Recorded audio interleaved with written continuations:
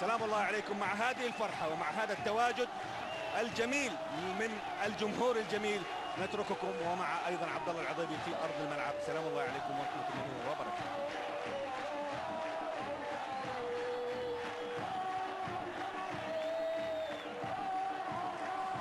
شكرا للزميل نبيل القشبندي. أهلا بكم متابعي القنوات الرياضية السعودية. ألف مبروك لهذا الانتصار الكبير بالنسبة للهلال بسبعة أهداف. أستطيع أن أقول أنه يوم المصالحة الكبير مع ختام الدوري يتأهل الهلال. ألف مبروك للاتحاد هناك في جدة يتأهل. اذا ولله الحمد ثلاثة أندية سعودية في هذه المسابقة دوري أبطال آسيا تتأهل وكذلك الاتفاق يوم أمس يتأهل في كأس الاتحاد الآسيوي. جميع الأندية السعودية تتأهل والعلامة الكاملة. الصورة تتضح في وداع كبير للاعبي الفريق الهلالي مع جماهير تحديدا.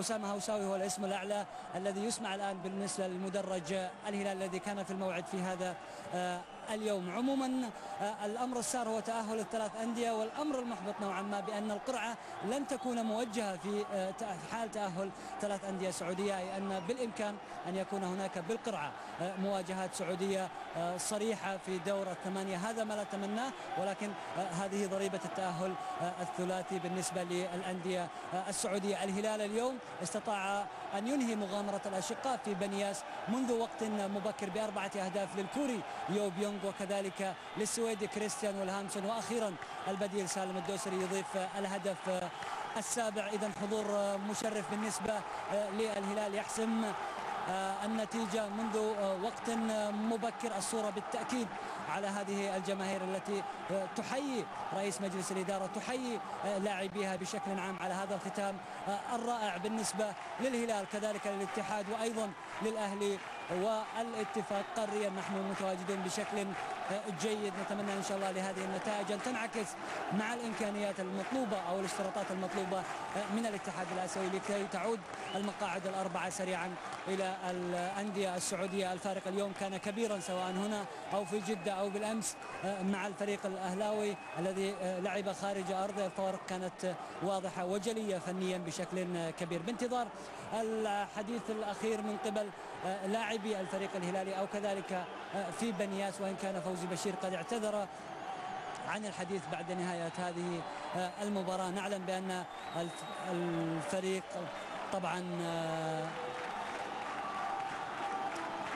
ما أشاهده الآن أسامة هوساوي كذلك عيسى المحياني في جولة على جميع أرجاء الملعب.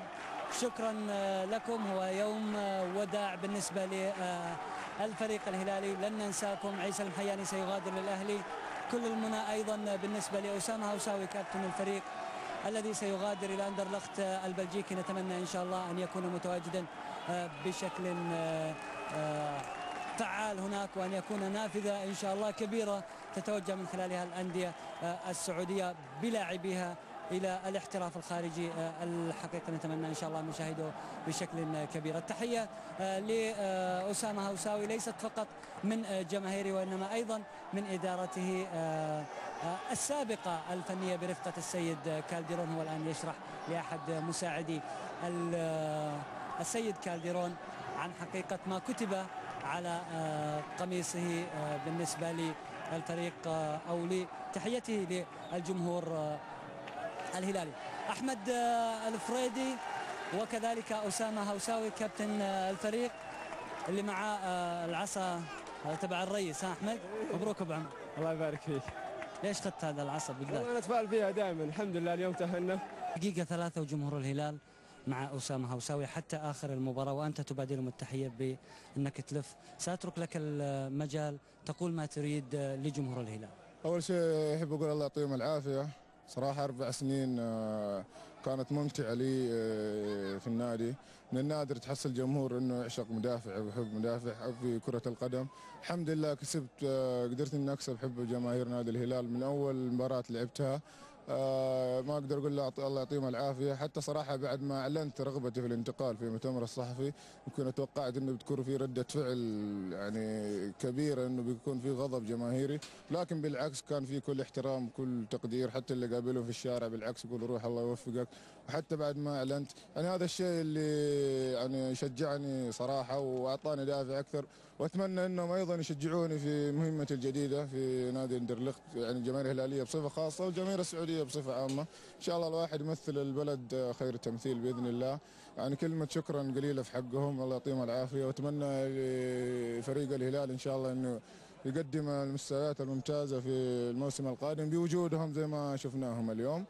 وكلمة شكر زي ما قلت لك قليلة في حقهم. الله يعطيهم العافية. حتنساهم لا طبيعي. أنت تعيش يعني أربع سنين ما هي سهله صراحة. و...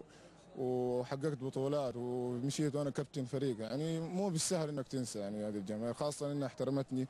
قال لك زي ما قلت في كرة القدم صعب إنه تحصل مدافع يكسب حب جماهير نادرا ما تحصل هذا الشيء.